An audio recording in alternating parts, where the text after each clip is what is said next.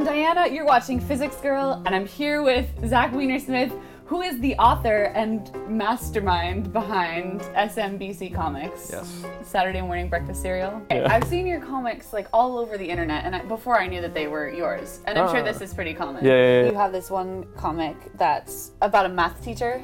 I was surprised about how well that did because it was kind of mean. Well, it was funny. That was one where I got a whole lot of math teachers. And I, could, I was surprised, like math teachers who were still working were like, "This is exactly it." And I was like, mm, Oh, "You don't want to say that?" Yeah, I know. Right? Oh, that's so. Oh, poor But- children. Thank you so much for the real reason that you're here is Yes. to answer some physics riddles. Yes. Okay. Yeah. Good. Okay, I'm gonna start with a warm up, which is more of like a physics trivia question. Okay. And I didn't get it right. So, good luck. What are the base SI units? Oh, like the most fundamental Yes. Pause here if you want to think about the answer first. grams. I'm gonna give you the point for the grams, but it's actually kilograms.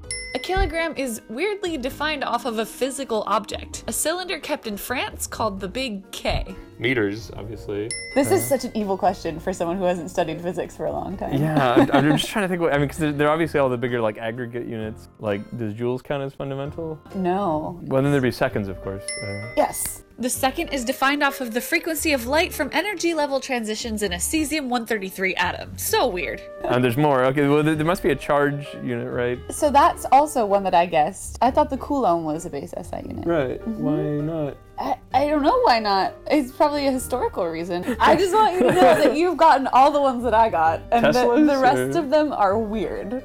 I mean, what else do you need to describe what's going on in the universe? Is, uh, We've got a practicing physicist over here, like Yeah. dying to answer. Do you know yeah. what, What, do you, what is it? I think there's one for light. It's either lumens or or candela. Yeah, yeah, that's one of the weird ones. I never would have guessed. It's the candela, which has to do with like the light from a candle. Amp, yeah. Amp. Okay, Which explain amps. Yeah. It turns out the amp is a base unit for historical reasons. It was historically easier to measure the force on wires with current than to measure individual charges. And then, but coulombs are not it. Yeah. yeah. Huh.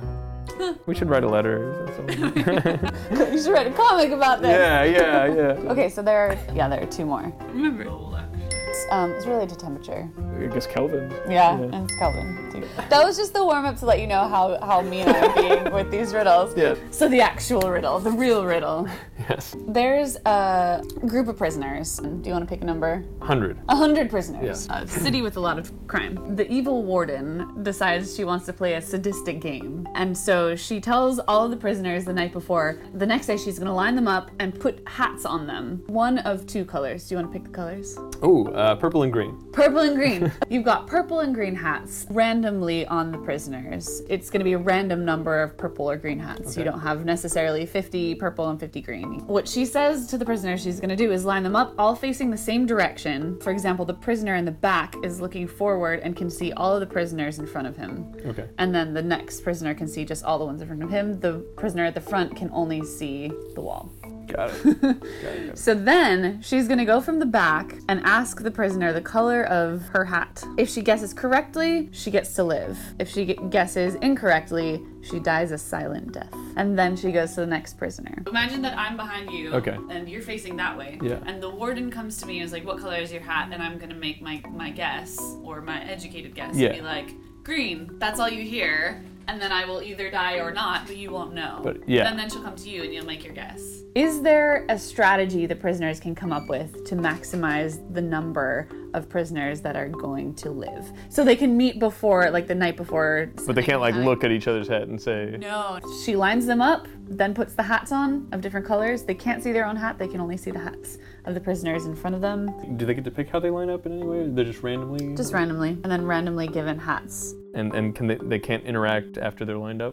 The only thing they can say is guess the color of their hats. So they can talk to each other, They can talk to each other to come up with a strategy the night before. but not the day of. Hmm. I'm, I'm not. Uh... It's a hard one. Yeah. It's a really hard one. Try and maximize the number of survivors. Right. Not necessarily maximize. Right. So you hear the person behind you when they guess. Yes, you do. I mean, yeah. So the only thing you can do is guess the same thing or guess the opposite thing, but I don't see how that. Well, the person behind you can see your hat. Oh, okay. So you should always guess what the next person is going to say. So only one person does, right? Well, let's think through that. Okay, so everyone can see all of the hats in front of them. Right, right. So the next person who's going to be up, you should just say whatever their head is. And then and then how many does that guarantee live? Like the strategy you're saying, right, is like you you say the the the hat of the person in front of you. Yeah. Say it's like green, purple, green, purple, green, purple. Yeah. Then everybody dies if you just say the hat in front of you. Oh, because oh, right, of course, because they could die because they got to say the right thing. Exactly. I see. Yeah, Yeah. you're right. You're right. Yeah. if it is line up green, purple, green, purple, and then like every other person says the hat in front of them. Oh. The worst loss for that one would be fifty percent. Oh yeah, but you could say it in a different pitch to tell the next person whether you're lying or not. That should be your strategy. You should. Wasn't banned by the rules, I think. It was not Yeah. by the rules. if every other person says the hat in front of them, then you guarantee fifty percent. Right. Other than the Is that was that your guess? Yeah. Is there a way to get that in? n- not cutting my cheating method. So the first person could say something about the total group with with one word, but like so you could the first person could say what the majority is. Is that Or right? something like that. Or something like that. Oh. Shoot. I went through this struggle silently in my room. and Yeah, I really right. think You do it on, On camera. It's a hint for you. Have to figure out this thing that you could look forward, see a whole group, and decide something binary. Right. Like either it's this or it's that of the group. So I've tortured you Yes. with a physics trivia question and a really hard riddle. yes. Do you want to um, ask me your riddles? I'm suffering while you. That's a great idea. Okay. Okay.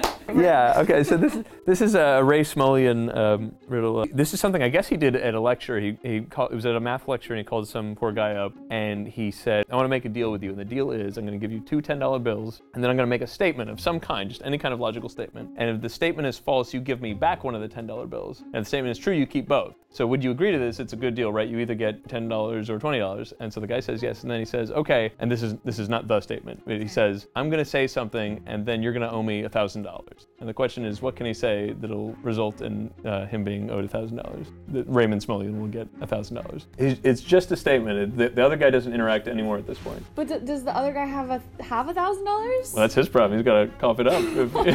Okay, so he may go into debt. Good. Now you're suffering too. Um, right.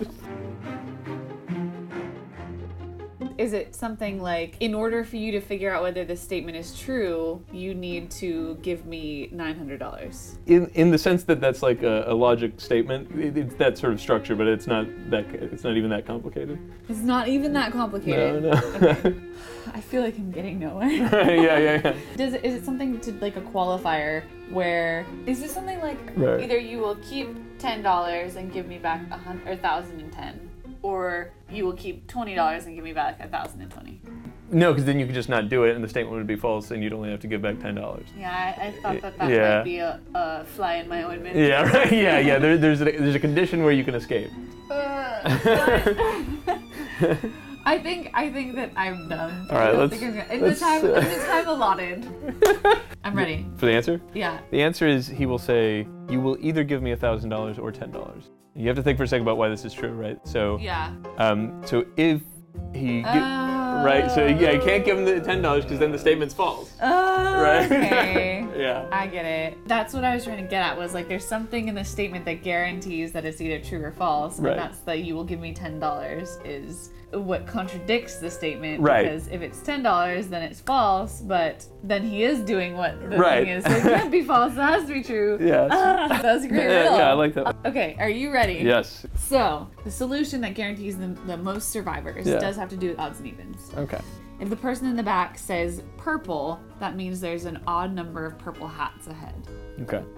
And and the next person will know what they are. So the person in the back will say either green or purple Yeah. and determine the total like of the rest of the hats. Is there an odd number of purple hats or an even number of purple hats? Okay.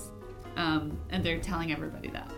So then the next person can see the rest of the hats and sees, okay, well, Damn it! That's it. That's beautiful. you guys Yeah, both at the same time. You're like, oh! Oh, that's great. That's, Isn't it nice? yeah, that's really good. Yeah. so if you look down the line and uh, you know it's odd, and there's an equal number of the other kinds of heads, you know you must be the odd man out, uh, the odd person out. Yes. Um, and if it's if it's not, then you know you must align with the missing spot. Yes. Um, so now you have an answer to your. Uh...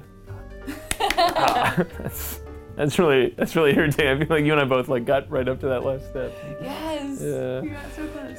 Thank you so much. Well, thank you for this having is, me. This is such a coincidence. I happen to be in London and going Yeah. to BAHFest. BAHFest. Uh, just one last thing. Uh, Happy, physicsing. That was the best I nailed it. ever. I was so Nailed good at that. Yeah, Yes. bam. Hey, one last thing. It's that time of year again. Christmas! Just kidding. PBS Digital Studios is running a survey, and basically they'd like to hear from you what you'd like to see more of on YouTube and in the world. So it's a quick survey. There's a link in the description and in the card. And 25 random participants are going to get a PBS t shirt. So sounds worth it. That's all. Thanks.